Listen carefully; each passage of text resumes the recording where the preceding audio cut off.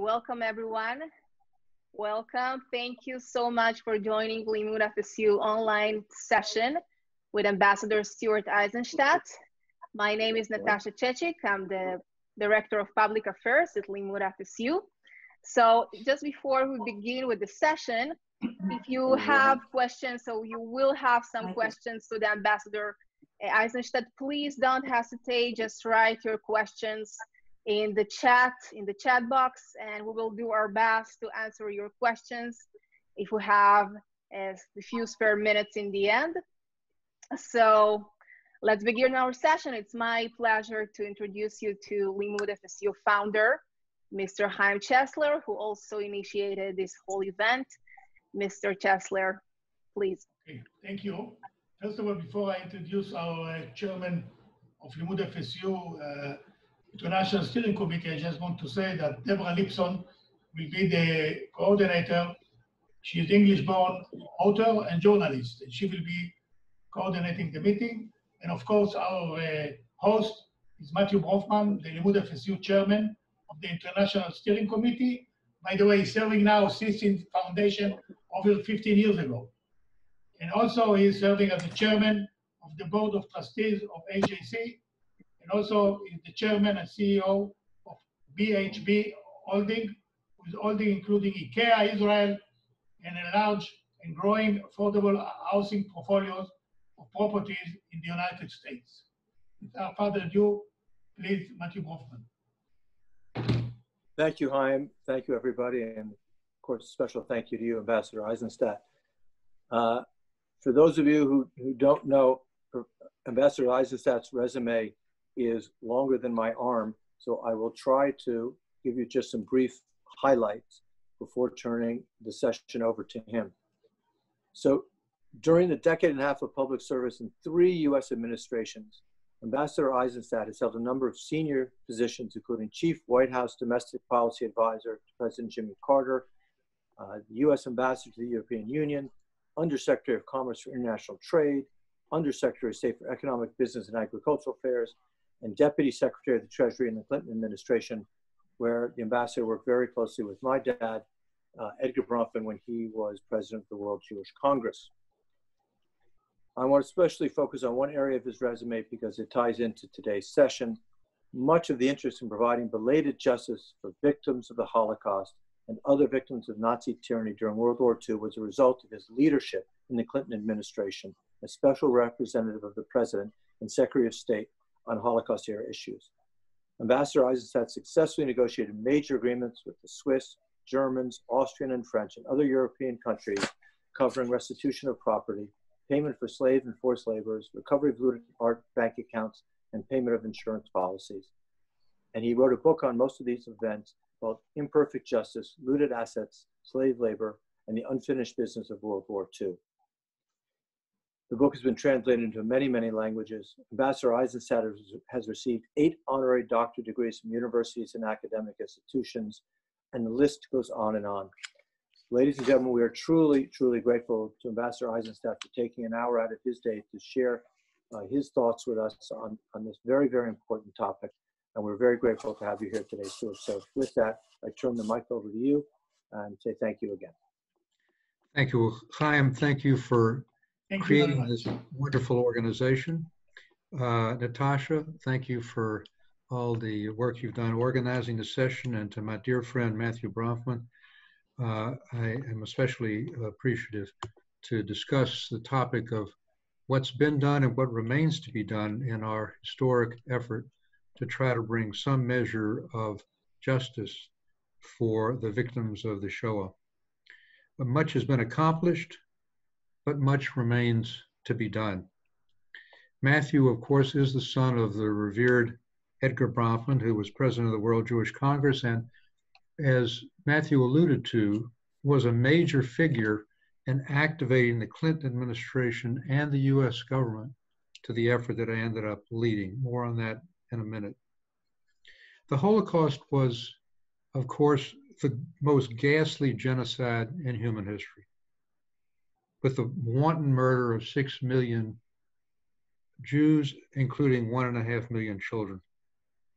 That was two thirds of the total number of European Jews at the time and a third of world Jewry at the time. To put it in perspective, in 1939, in a world of 2 billion people, there were before the war 17 million Jews.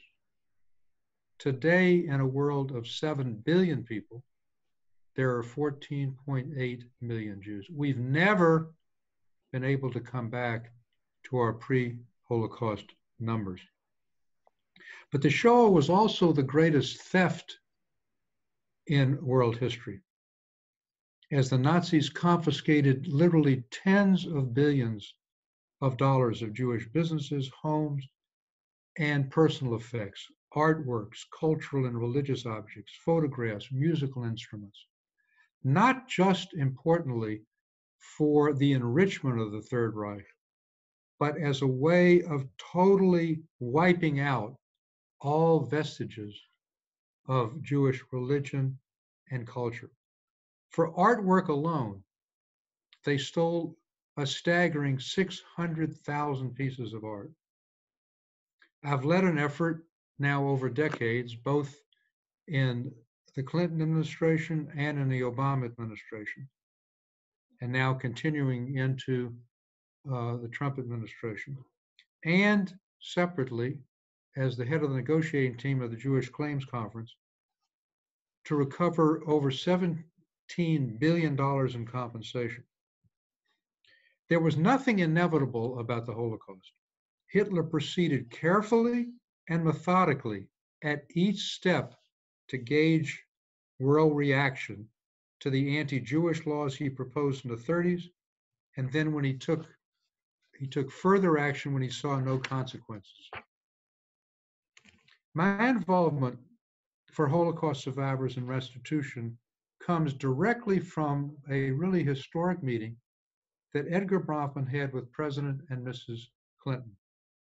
The Cold War had recently ended, and he urged them to appoint someone to lead the effort initially to restore communal property, synagogues and schools, day, uh, cemeteries, all to surviving, although tiny, Jewish communities in Central and Eastern Europe so they could rebuild their shattered communities.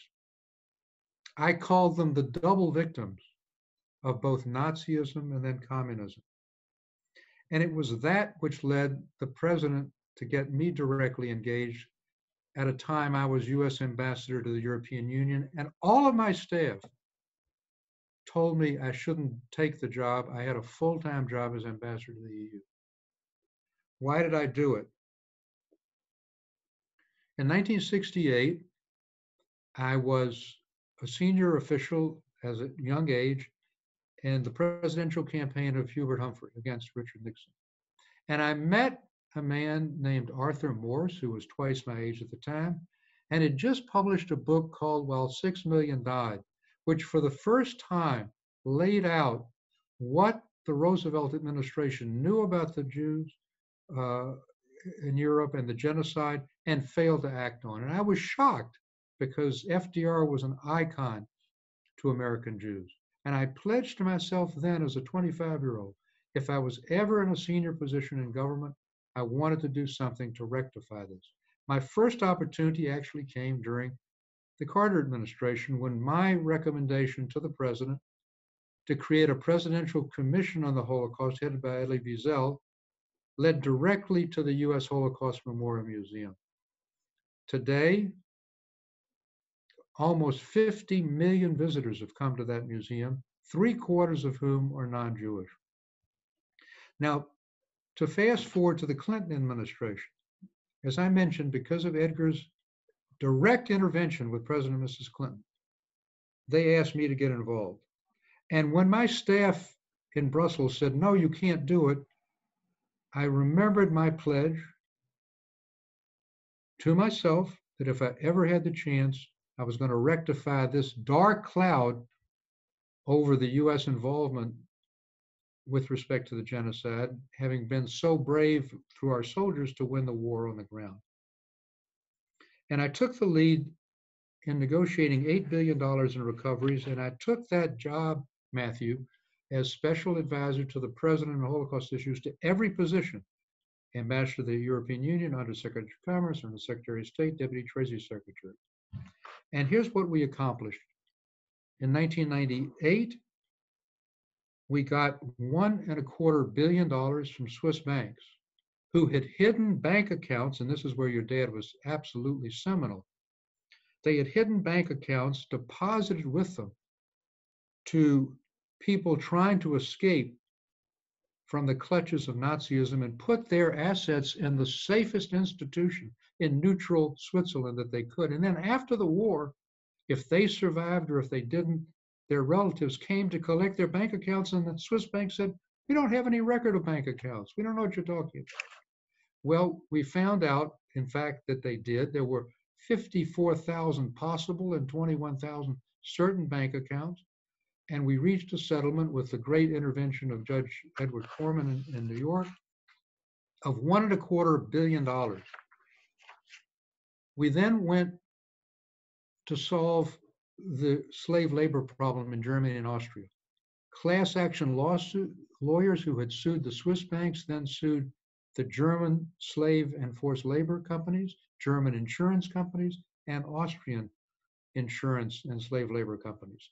And with my mediation in July of 2000, in a direct agreement with the German government and the German private sector, over 6,000 German private companies, we reached a 10 billion Deutschmark, $5 billion agreement to compensate for the first time slave and forced labor, both Jews and non Jews, and to pay some $350 million in insurance policies which had never been paid.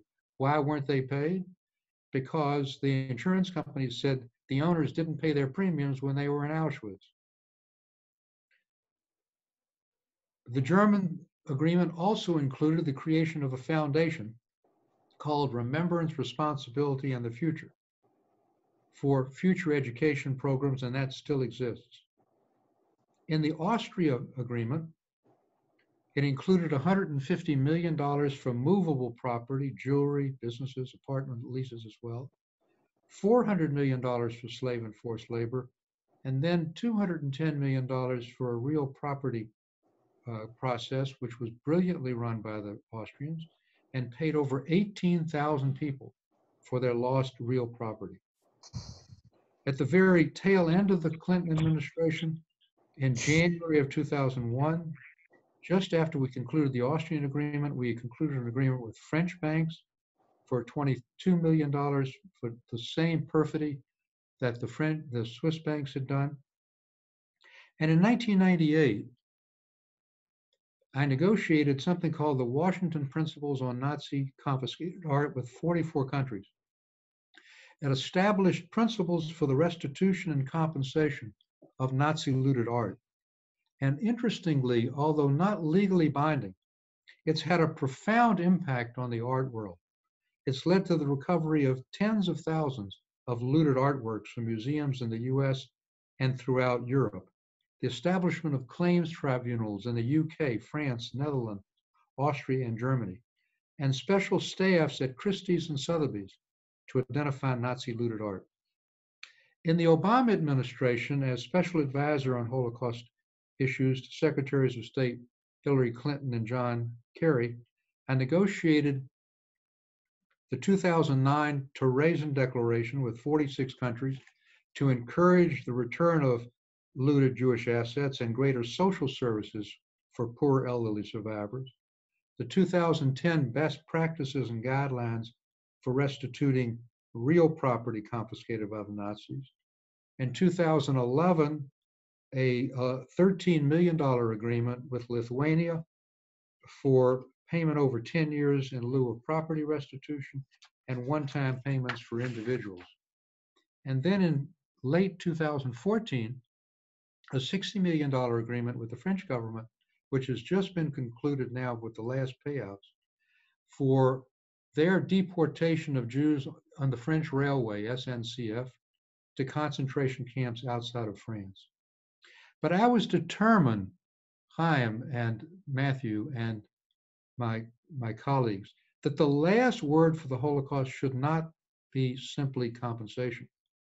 It should also be education, coming to terms with the lessons of the Holocaust so that they are understood and applied. And that's why, going back to the Carter administration in 1978, I wrote that memorandum leading to the creation of the Holocaust Museum. In 1997, as part of the education process, I led a 13 agency review of the role of Switzerland during World War II, and particularly the role of Swiss central bank in accepting Nazi looted gold bullion, which they knew had come not from the Swiss, uh, from the German central bank's reservoir, but from the gold bullion that the Nazis looted from the countries they occupied. The next year, we did a study on other neutrals, Spain, Portugal, and Turkey. What was their role? And this helped catalyze countries from Switzerland to Lithuania and dozens of others to establish their own historical commissions to examine their role during World War II.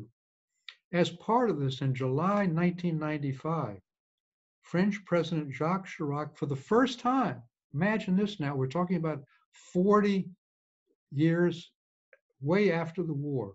War ended in 45.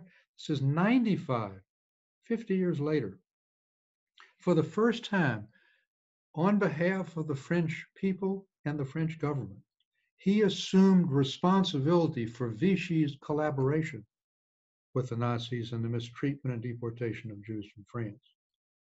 In December 1999, as part of our German slave labor agreement, in his official residence in Berlin, German President Rau said, with my being present, I beg forgiveness on behalf of the German people for the Nazis' mistreatment of slave and forced labor. And then, as part of this education process, continuing today, and I'll get to this more in a minute, in January of 2000 in Stockholm, taking the lead of Swedish Prime Minister Göran Persson, we created the Holocaust Education Task Force, then with only a half dozen countries, to promote Holocaust education in the school systems. Today, that has now become the International Holocaust Education Remembrance Alliance with 34 countries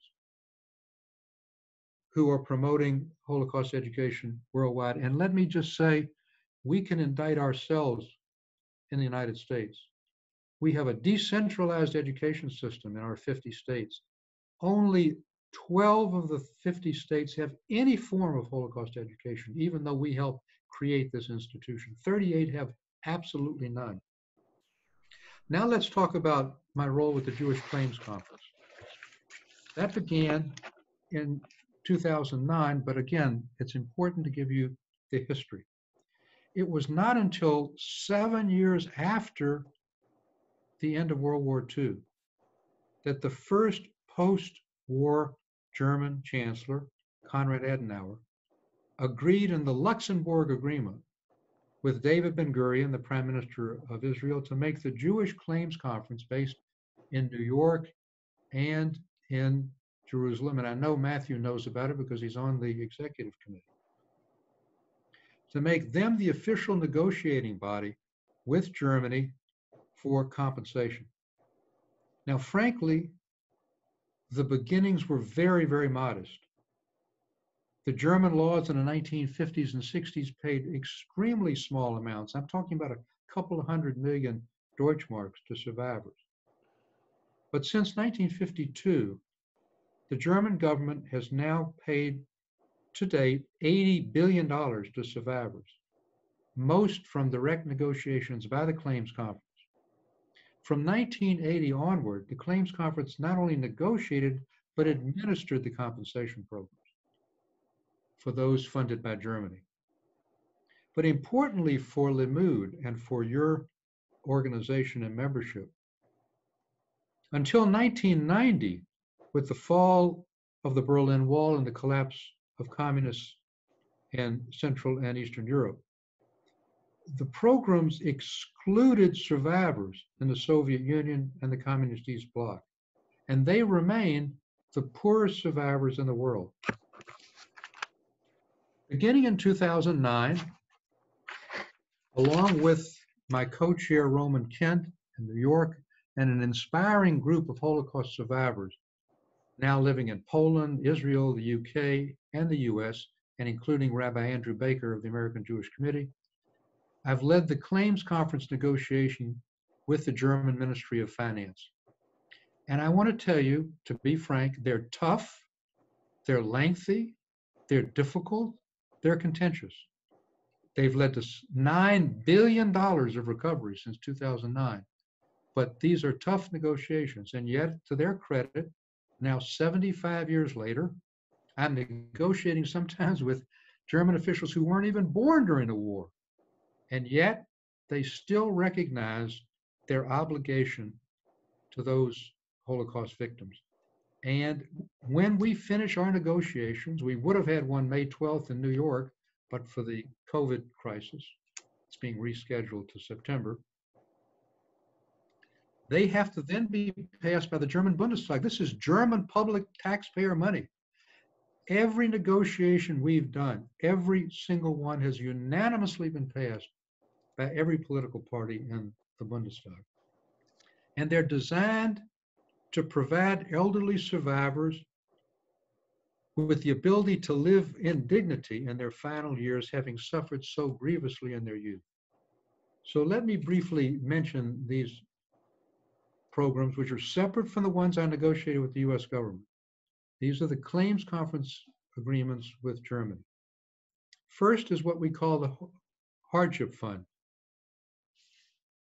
It was created in 1980 to provide one-time payments of 2,556 euros to survivors who didn't qualify for pensions, and they're mostly Russian and former Soviet Union survivors who had fled the Soviet Union in the 70s and 80s and came to the US, to Israel, or Western Europe.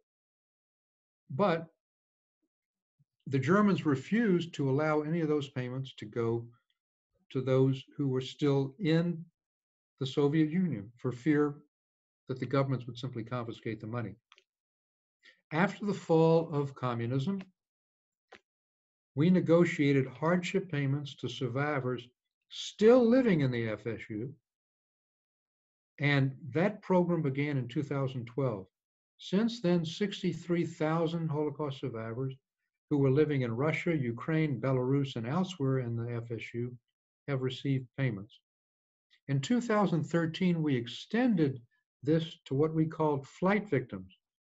These were Jews who fled largely to Russia within 100 kilometers of the Eastern Front to avoid the Einsatz group, and also those who were involved in the Leningrad siege. And then we further expanded the program in 2013 and beyond to include Jewish survivors from North Africa, Tunisia, Morocco, and Algeria. And in that same year, in 2013, where, by the way, the negotiations for the first time were at Yad Vashem, we got the German government to fund an additional one-time hardship payment to child survivors, and then most recently, and this is the most recent of our programs, to those young people who were in the kinder transport. In all, the hardship fund has paid over 520,000 Jewish Nazi victims since 1980. The second major program of the claims conference with Germany is monthly pensions. This is the only program that's income tested. And this initially, again, was only for those living in Western Europe, Israel, or the US, not those in the former Soviet Union. It gives pensions to those who were in concentration camps, ghettos, who were in hiding, or used false identity. After the collapse again of communism, we then went back to the Germans, said, okay, now it's time to include these pensions for those in Central and Eastern Europe. Germany agreed, but again, they said we're only going to pay them smaller pensions than we pay those in the West or Israel because the cost of living was less. We thought this was a terrible decision because they had waited all these decades and gotten nothing. But the Germans were obdurate. And so over the course of several years, beginning in 2007, by 2012, we equalized the payments between those in the East and those in the West. The program in the East is called the Central and Eastern European Fund. Not only did we do that, we dramatically increased the pensions from a couple of hundred million euros, 200 million euros per month to today, 2020, 513 euros per person per month. Since we began the program in 1992, over 120,000 survivors received pensions, and today, because of death rates, 50,000 receive these monthly payments, and they're the difference between starvation and at least some ability to live. We also liberalized with the Germans the strict eligibility requirements. For example, they said, okay, we'll give this pension program to the people in the West and the East, but they have to be in concentration camps for 18 months. We've reduced that to zero, even one day qualifies. We've reduced the time for a ghetto or false identity or hiding from 18 to three months. And again, we've dramatically doubled the amount of the pensions. The third program, and the one that's, in my opinion, sort of closest to my heart, and where we've achieved the most dramatic progress, is called home care. These provide home care workers to poor elderly survivors who help with medicines, with food, with shopping, with cooking, with socialization, and in the most severe cases, with toileting. And it keeps them out of old age homes. And believe me, in Central and Eastern Europe and in the former Soviet Union, if they have any at all, you wouldn't your, want your worst enemy to be in one of those. So keeping these survivors in their homes is tremendously important. This program only began in 2004 with a tiny budget, 6 million euros worldwide. When I took over the claims conference negotiations in 2009, the entire worldwide home care budget was only 55 million euros. We've increased that since 2009 tenfold. This year, it's 524 million euros for home care. This means increasing coverage, the number of hours, now 24 7 for those most in need. And these programs are done on the ground. We get the negotiated money for the Germans and we transfer it to Jewish Family and Children's Services in the US, to self help, which I know, Matthew, you know about in New York City, to special agencies in Brooklyn, where the largest survivor and poor population exists, including tens of thousands of survivors from the FSU. For those still in the former Soviet Union and Central and Eastern Europe, that money goes through the Chesed program of the Joint Distribution Committee. It's 45% of the total budget of JDC, and in Israel through a special agency. Since 2009, we've received over 3 billion euros from the German government for home care. I'm also pleased that for Governor Pataki, the governor several years ago, established the Holocaust Claims Office in the New York Department of Financial Services, ably led by Anna Cohen. And that helps survivors and families anywhere navigate through all of these different programs. The US Congress has become more engaged in Holocaust related issues. In 2016, they passed an act called the HEAR Act, which established a federal statute of limitations to recover artwork and to blunt the efforts that were being made by US museums to use the statute of limitations to block claims to recover looted art. In 2018, the Congress passed the JUST Act, requiring the State Department to publish what 46 countries have done in implementing the 2009 Terezin Declaration I negotiated and the Clinton administration. And now, today, in the Trump administration, literally, I have the booklet right here. We're going to be publishing before long our report. I'm expert advisor to the State Department of Holocaust issues on what they've done. So what remains to be accomplished? And here I'll close. We've done a lot, but not enough. We cannot be satisfied when today over 90% of Holocaust survivors in the former Soviet Union live in poverty.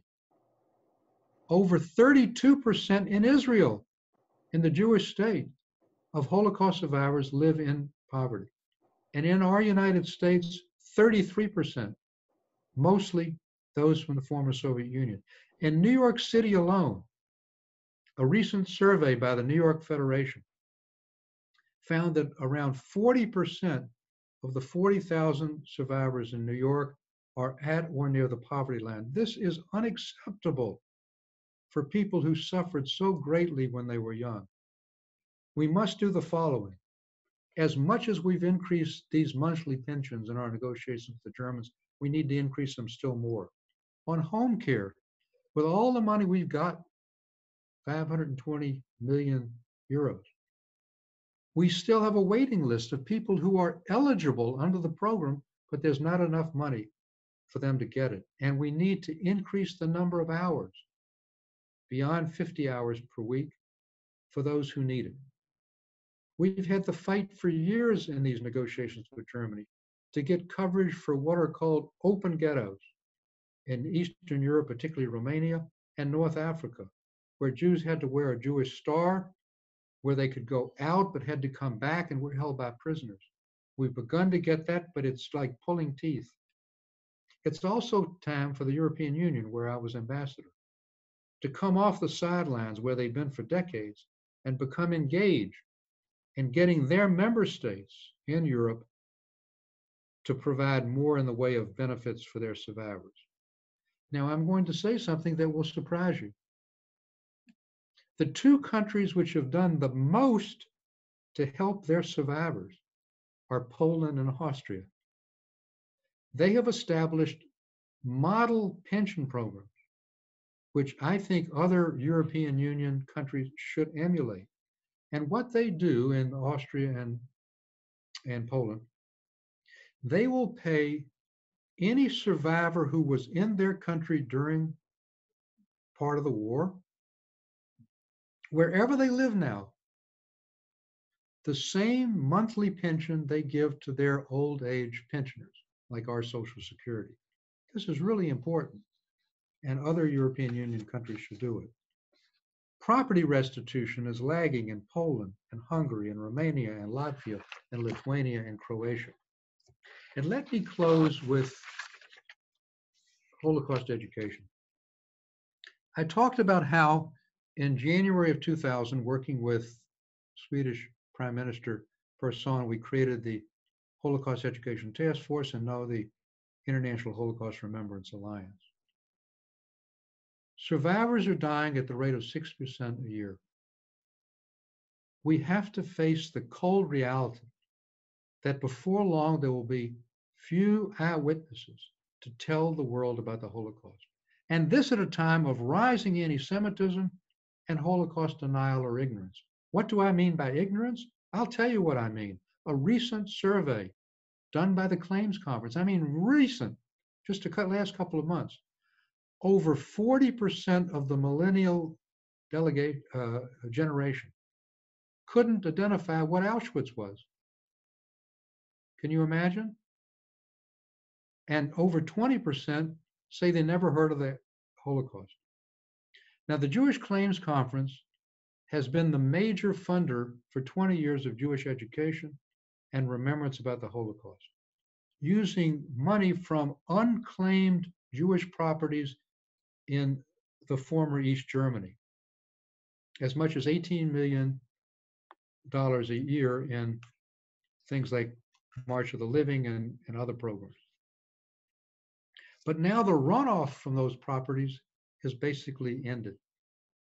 And now we're down to just a few million dollars of Holocaust education. And so we are now negotiating, this will be part of our next round of negotiations with Germany, not just for more home care, not just for more pensions, not just for more hardship payments, but we want the German government to begin to assume worldwide Holocaust education. They've done a great job inside Germany, but we think they have an obligation to finish the work even after survivors are gone by making sure Holocaust education continues worldwide.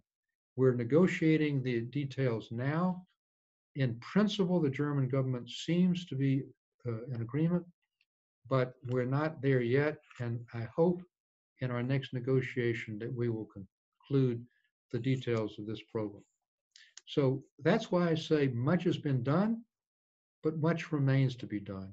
And thank you very much for giving me the opportunity to talk to you. And I'll look forward to taking your questions. Ambassador Eizenstat, that was one of the most amazing overviews I've ever heard of a topic that I've been following carefully for close to 20 years.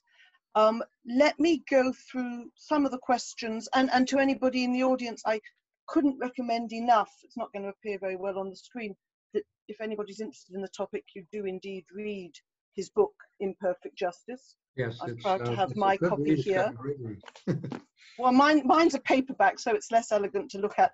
But let me let me go to one question, which will then bring me into a question that I have of my own, um, and then we'll go through some of the other questions that have come in while you were talking.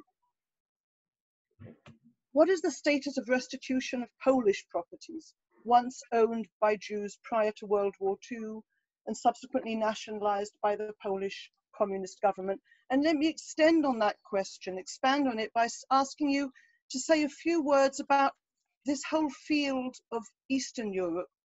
What still should be done there? Okay, so of all the issues that I've dealt with, the one that's been the most frustrating has been the issue of private property restitution in Poland. Now, mind you, let's be fair. Poland has, as a result of negotiations that I've been involved with, done a considerable amount in returning communal property, synagogues and cemeteries, for example, the Jewish communities. They wanted to stop that too several years ago, and we got them to continue. That is continuing. It needs to be accelerated. It's taken too long, too contentious about which synagogue should qualify, what's a synagogue, and so forth. That's very important. It's the private property area that's the most confounding. Something like 40% of pre war Warsaw, in terms of businesses, factories, homes, were owned by Jews. And they have gotten zero. Now, it's also true that largely non Jews in Poland, and Pol- Poland lost 3 million non Jewish Poles, as well as 3.5 million Polish Jews, have likewise gotten nothing from the nationalization that the communists put in government.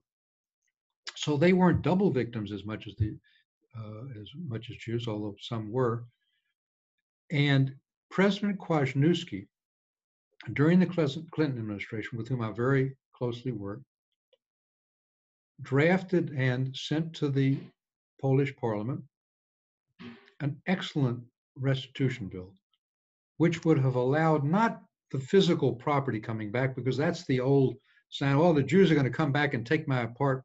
No, we know that you can't do that. We're talking about compensation. And what that bill would have done is allowed about 10% of or 15% of the fair market value to be compensated. It went to the parliament, and the parliament put in a sort of killer amendment that said it's only available to those Jews who live in Poland. And of course, that excluded everyone. So we're continuing to work on this in the Obama administration, the Clinton administration, and the Trump administration. It's a very sensitive issue, uh, but we think that if it's couched in the right way, this is not just for Jews, it's for non Jews as well, that it's not taking anybody's property, it's paying some compensation. Uh, we hope that something can be done, but it's a very, very, very difficult issue. And again, I've been working on it unsuccessfully for uh, more than 20 years. With respect to Central and Eastern Europe, uh, the picture is very spotty. uh, we have been able through the claims conference programs, as I mentioned, with home care, with pensions, they're now fully covered, equally covered for those living in the West.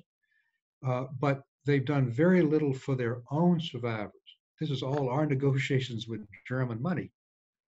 Uh, and I would love to have them emulate what Poland and Austria have done in terms of pensions. Uh, they should do more on social services, uh, but it's very, and they should certainly do more on property restitution. Lithuania set a very good example. In 2011, I negotiated a $13 million agreement with for over 10 years uh, for Lithuania. Uh, and uh, this, again, is a good model that can be used in Central and Eastern Europe. And the European Union has set it as a condition of countries who want to join, like Croatia, of saying, not unless you come to terms with this.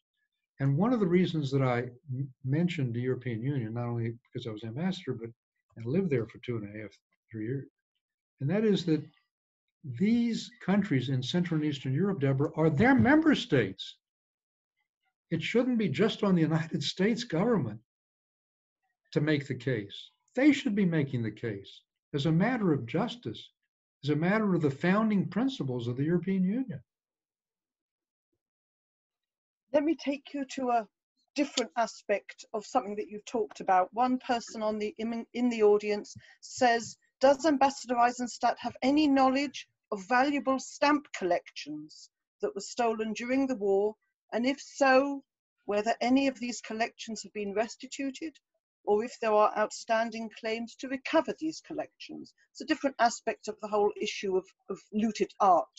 Yes. Uh, so stamps are considered part of the cultural property that is part of the Washington Principle. And in Berlin in November of 2018, when we pointed out that the German museums have done very little to restitute, even though they, they've begun. Uh, they had a claims process, only 15 cases were resolved. And I signed on behalf of the US government in 2018 uh, with Monika Grütters, the Minister of uh, Art and uh, Media uh, in Germany, a joint declaration in which she's now getting additional money to fund provenance research for German museums. And they have found now hundreds, indeed thousands, of books and stamps and other uh, memorabilia in some of their museums. So um, this certainly is part of the entire process that we've uh, that we've used. On the other hand, in art in general,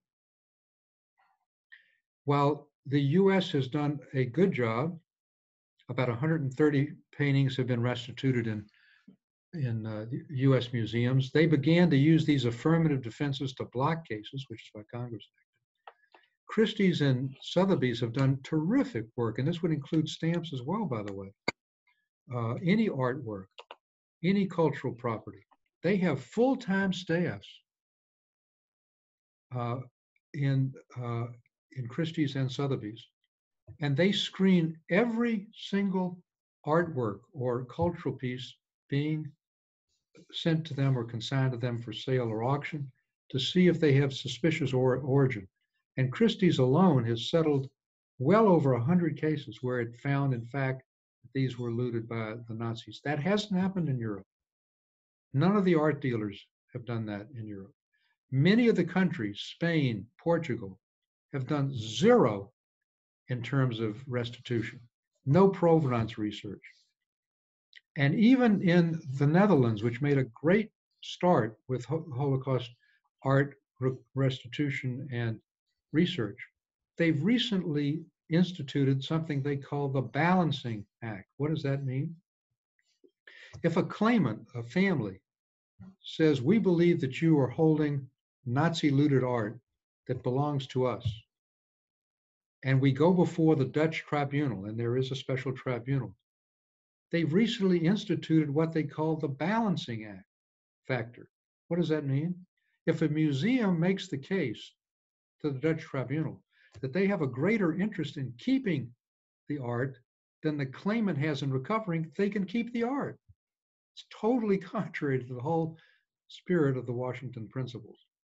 The UK has done a very good job. The French, and I spoke there uh, in 2019, November 2019, have really gotten their act together. They've put a new office, CIVS office, in the Prime Minister's office. They're looking at all their so-called MNR collection of art that was stolen by the Nazis and then returned after the war that's in the Louvre and the Jeu de Paume. Uh, and they're making a very sincere effort to do so. So there, there are areas of progress, but here again, uh, it's, it takes a lot of pushing by the US government. And again, where's the European Union? Another question from an entirely different angle, and I'm going to pass the microphone over to one of the listeners, somebody by the name of Jeremy, who wants to ask his question himself. Natasha, are we connecting. Jeremy into the? Yes. Ambassador Eizenstat, um, thank you so much for your words and all of your efforts. I think you can be very proud of the, of the 25 year old version of, of yourself. Um, in the context of the Free Soviet Jewry movement, we know um, that you played a very significant role, both personally and on the diplomatic front, for the modern day exodus that led to literally millions of Russian speaking Jews leaving the former Soviet Union. And we're wondering if you could share uh, one or two stories about those efforts of yours in the 1970s and the 1980s that led to this modern day exodus. Thank you very much, Jeremy. It's a, it's a privilege to do so. Uh, first, uh, we were able to get, uh, during the Carter administration, the president was very much engaged in this, and I certainly was, in doubling the number of Soviet Jews who uh, were allowed to emigrate from 25 to 50,000. That figure tended to stall when the Soviets invaded Afghanistan, but we more than doubled it. And if you want a personal story, I'll give you a personal story. Uh, Avital Sharansky newly married to then Anatoly, now Natan, came initially with my former Harvard Law School professor, Alan Dershowitz, and then she came repeatedly on her own to plead that we make a statement that her husband, Anatoly Natan, was not a US spy. He was being charged with a US, being a US spy, and I went to President Carter, and it's almost never done that an American president will say when any country happens to seize someone that's alleged to be a spy that he isn't or she isn't. Because then if the next person is seized and is, and you say nothing, it speaks volumes. In this case, as a result of Avital's strong intervention, and may I say my support, the president in the midst of the trial that Natan was going through, said he is not a US spy. This is totally false. And you don't have to believe me. You can read Natan's own memoirs. He said, in his opinion, that saved his life. Changing direction completely, um, somebody else says, because they want to be involved in it afterwards, which US states do and which do not have legislation on Holocaust education, and what can concerned individuals do to rectify the situation even further? Well, that's a great question. I mean, New York, New Jersey, Florida, most recently Oregon have it, California, but 38 states don't. And I'll be glad to supply to you a list of those states that do and those that don't. Uh, and one of the things you certainly could do is in the states that you live in that don't have it, you can become an advocate for doing it. Congress just passed a law that the president's going to sign within the next week or so on Holocaust education, encouraging states to do this. So you could be very, very helpful here. Uh, also, I'm very much involved, I'm the chairman of the foundation called Defiant Requiem Foundation. And what we have done is also part of Holocaust education. We have put on over 50 concerts, uh, twice in Lincoln Center, once in Carnegie Hall, in Chicago, in Los Angeles, in 50 places all over the world to raise money for Holocaust survivors. And the Defiant Requiem Verdi at Terezin honors a Jewish prisoner chorus that remarkably was created in the midst of the Theresienstadt concentration camp with a young Jewish composer, Raphael Schechter, who, who had taken in a copy of Verdi's Requiem. After 12, 14 hours of slave labor, got these Jewish prisoners to learn the Requiem, uh, performed it on 16 occasions. The last was June of 40, 1944, when the SS brought the International Red Cross to give a blessing that Theresienstadt was a model place. They cleaned the camp up. They shipped all the kids and all the elderly out. They gave them a, a, a short guided tour. They put in swings. They gave the kids candies, all of which was, of course, a phony. We actually have film footage of that that we include as part of our uh, Requiem. We found surviving members of the chorus. It's very powerful. And we've now developed new educational material, including an edited version of an Emmy nominated film about all this for use for schoolrooms. So one of the things, and I really would urge you, this would be a wonderful project, Matthew and Chaim, for Limmud to be involved with.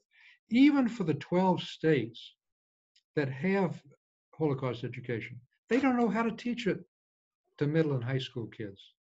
They're afraid that, you know, with uh, showing the bodies and so forth, it'll scare kids away. What we've tried to do in the Defiant Requiem is provide a model of inspiration, how music and the arts and culture gave people hope in a hopeless situation. So, one of the things that I would love to have you engaged in is to work with us, not just on the 38 states that don't have any Holocaust education, but on developing models for how teachers should teach it at best, they may get one or two days to talk about World War II, let alone the Holocaust. We've got to give them things that are compelling, that are visual, and that really help kids understand it. Um, one other thing that I'll say on, on this the Shoah Foundation, Steve Smith is the head. Of course, it's a, a very, found, very famous foundation from the producer of Schindler's List, Steven Spielberg has now developed a holographic uh, of a real survivor. And through artificial intelligence, and I've used this, I did it at the World Economic Forum in Davos, I've done it in Los Angeles and Houston at the Holocaust museums. You can actually have a young person talk to that survivor, and the holographic image of a real person answers immediately. We need those kinds of creative things at a time again when the Holocaust is not remembered, not known, uh, is ignored, uh, and at a time of rising anti-Semitism. It's terribly important. Questions are coming in quicker than I believe you still have time to answer them. Let's try and get through one or two more. Um, the whole question of mass graves in Eastern Europe. Yes.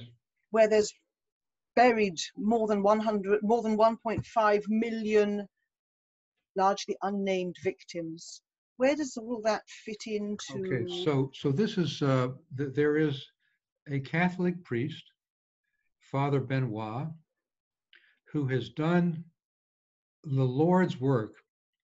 He uncovered hundreds and hundreds and hundreds of thousands of mass graves in Ukraine. He's got a foundation based in uh, in Washington. He's continuing that. I met him. He's talked at our Defiant Requiem Foundation uh, events. He's trying to expand that. My own relatives in Lithuania. I found out when I was ambassador to the European Union and beginning, Matthew, to do this Holocaust work because of your dad. And I went to Lithuania to start doing property restitution and I knew my family came from there. Lithuania has fantastic archives. And we hired someone, my late wife friend, and I hired someone to research it. And we found that three grand nieces of mine, that is my grandfather's sisters, had never been able to escape. We looked at Yad Vashem, we looked at every record you could get, no record. Why? Because the Jews in Lithuania were not taken to concentration camps by and large. They were shot and put into mass graves. And so Father Desbois has done really remarkable work. Here again, he shouldn't have to do it on his own shoulders. It's something the European Union should help fund. It's something that these countries should help fund in Ukraine, in Poland. Uh, so there has been progress, but much more remains to be done. And with modern techniques, in terms of uh, DNA and uh, tracking, uh, we can identify where these mass graves are located and have suitable memorials mentioning the history of that. I can't thank you enough, Ambassador Eizenstat, for the most fascinating hour that you've just been giving us. Lots more questions, unfortunately, no more time to answer them. So I'm going to pass the microphone back to Matthew to try somehow and sum this all up. well, thank you, Deborah. Thank you for your service today as well. Uh, Ambassador Eizenstat, really, thank you, thank you, thank you. Uh, we at Limmud FSU really do uh, focus on Holocaust education as part of our events, uh, which of course is to engage Russian-speaking Jews throughout the world in Judaism, and it's keeping that spark alive that is that is our mission. And uh, of course, we work with the Claims Conference as well, as you mentioned, on, on these Holocaust knowledge studies. Um, much, much work is yet to be done. We'll be glad to discuss how the, all the organizations from Defiant uh, Requiem and Claims and Limmud FSU can enhance Jewish education, Holocaust education in the United States. That is critically important. Um, so I know time is running short. You've got another obligation. Really, uh, we want to thank everybody for joining uh, this Limmud FSU call. Uh, I think it was a fascinating, as Deborah said, a fascinating, fascinating hour. Um, and again, thank you, Ambassador Eizenstat. We look forward to more interactions between you, the claims, and Limmud FSU uh, over the ensuing years. So thank you. Well, thank much. you. I'll try to give you a list of states, first of all. Uh, and Chaim and Matthew and Deborah, I'm more than happy uh, if we want to reschedule this and take more questions or have a more interactive session based sure. on what I've said. Sure. I'm sure. at your, I'm at your disposal. That's great. Thank you very much. Thank I you. I would like to add only information about next week. Maybe, uh, Mr. Ambassador, you want to hear our next guest next Sunday is the chief uh, rabbi of uh, Russia, speaking about the corona in Russia, speaking about Shavuot, speaking about other uh, exciting events. So well, I know, Sunday, him, I know him very well. I see him in Davos every year at the Shabbat we've organized at the World Economic Forum. And believe it or not, we started with uh, almost nobody. We have over 220 people who participate in the World Economic Forum's uh, Shabbat. And I get uh, from uh, the chief rabbi of Russia, he comes. And uh, he sent me a special uh, matzahs for Passover every year. so this is so Sunday. We'll send you an invite. Yeah. This is May Sunday. 24th. This is Sunday and next Wednesday in this current form, which uh, Matthew is uh, hosting. Our next guest will be the chairman of the national uh, important organization of uh, United States Jewry, Malcolm Hoenlein, will tell us how North American Jewry living under Corona. So first of all, we'll hear about Russia, and a few days later, we'll hear about America. Thank you very much. We will get all the information. And once again, thank Matthew, thank Debbie, thank uh, Natasha, thank Sandra Khan, which helped us to organize. And I want to mention, Mr. Ambassador, although it's scheduled time, Greg Schneider and Arya Buchheister and many other of the claims conference staff were present at this uh, event.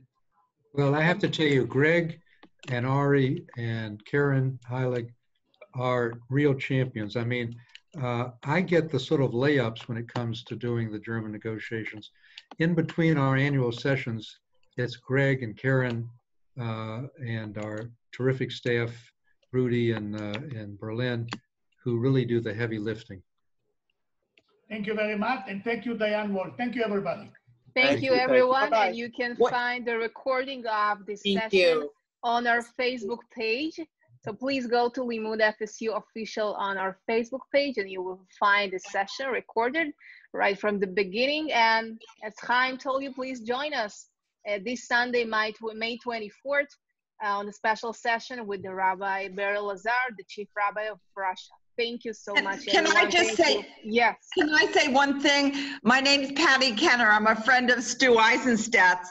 I just got off the phone because Carolyn Maloney, my congresswoman, who worked 18 years on this bill for Holocaust education, I told her that someone asked the question how to help, and she said everyone should write to the president and say this should be a signing, a special legislative signing and all the major Jewish leaders should be invited while this bill is signed that the president's going to sign for Holocaust education. Thanks. Thank you. Thank, Thank you, you. Patricia. Thank you. Shalom, Thank you. everybody. Bye. Take care. Stay Thank you. Diane. Shalom. Shalom.